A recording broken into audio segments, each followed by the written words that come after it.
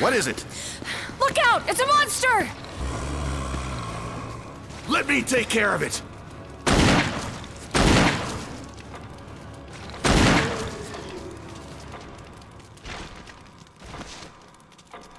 What the hell is this thing?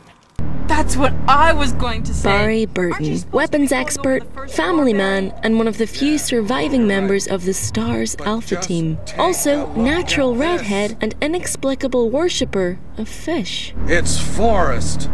Oh my god. Despite only properly appearing as a supporting character in the original Resident Evil and its remake, Barry Burton is one of the most beloved in the franchise's history. The reason for this cult status is difficult to pin down, owing to the fact that pff, there are just so many reasons for it. He's endlessly quotable. What the hell is this?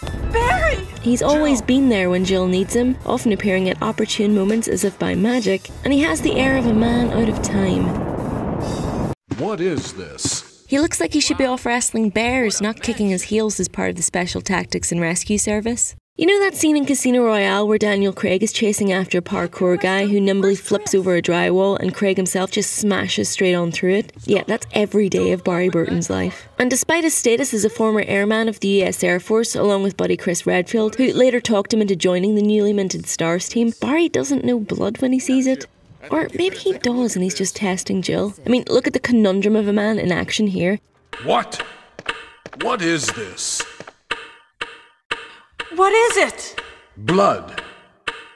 He asks a question, gets that same question asked back as a response, and then proceeds to answer his original question himself. Dialogue so beautiful I could cry. He just seems constantly surprised by the nonsense coming out of his own mouth.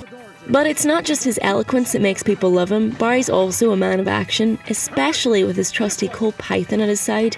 I have this. Try not to swin too hard, ladies.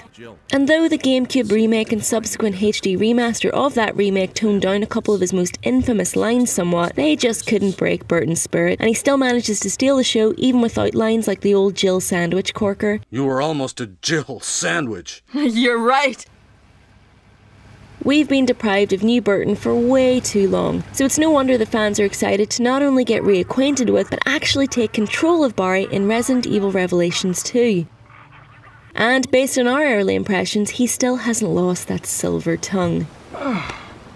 Is there a little girl on this planet that will listen to me?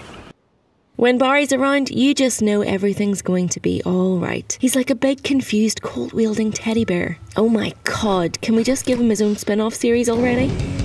Barry Burton.